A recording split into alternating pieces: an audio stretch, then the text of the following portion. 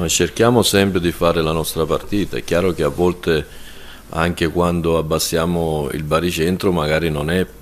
certe volte neanche per nostra volontà perché magari gli avversari in quel momento ci prestano di più e ci costringono diciamo, ad abbassarci, perciò, perché, però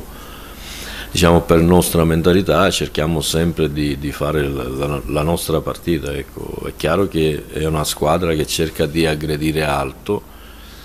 e dobbiamo essere bravi a, a venire fuori dal pressing, ecco. quindi se riusciamo in questo poi eh, saltano gli equilibri e possiamo trovare più spazio nella, diciamo, sulla tre quarti avversaria, però loro pressano molto alti, cercano di non farci giocare la prima palla, la ripresa del gioco dal portiere perché alzano minimo tre giocatori, insomma sono abbastanza aggressivi. Superare un un turno di Coppa Italia al cospetto di un avversario, anche se non sta facendo bene di Serie A, è sempre una motivazione importante per affrontare le partite in campionato, per cui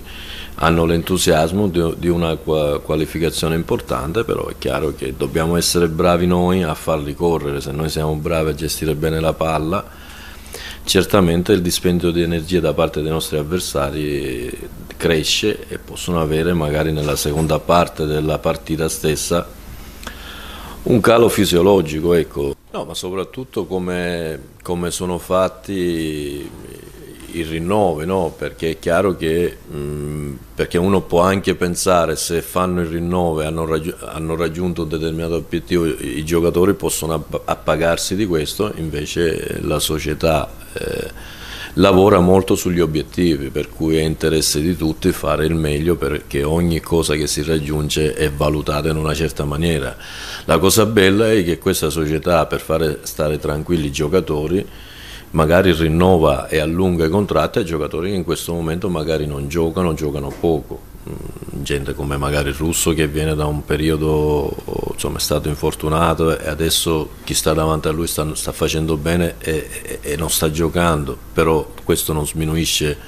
il suo valore, la società ha prolungato il contratto, così come,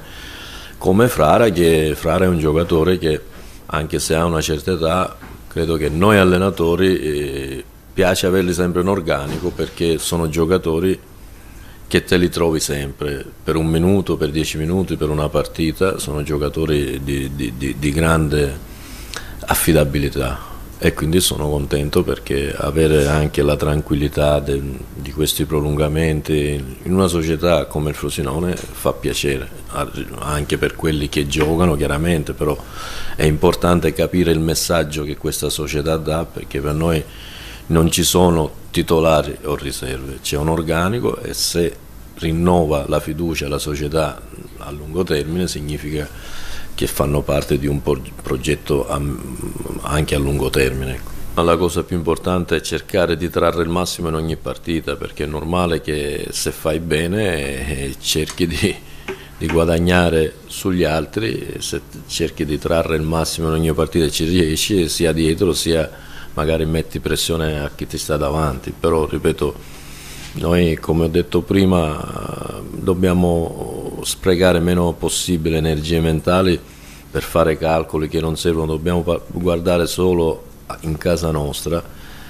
e, e, e perché dipendiamo da noi stessi, ecco, perché se noi siamo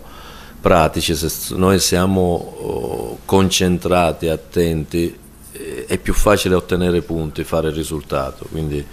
e non possiamo oh, permetterci di avere cali di tensione, ecco, perché quando ci sono cali di tensione siamo una squadra diciamo, prevedibile. Ecco.